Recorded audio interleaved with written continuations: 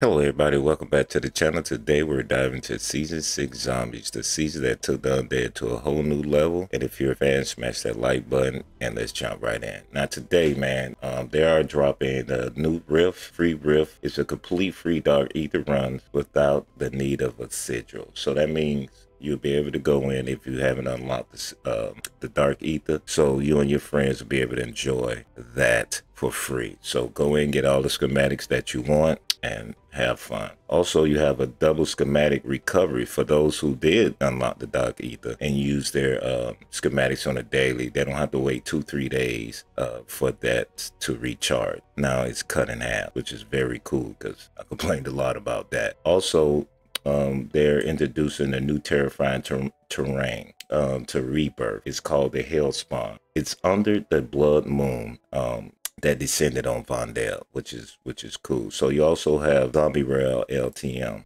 and uh, you know where it's just basically Zombie Royale. Uh, one of the uh, favorites. I liked it. So if you're if you're a fan like me and you like uh, zombies, man, make sure you hit that uh, subscribe button, man. And I'll see you in the next.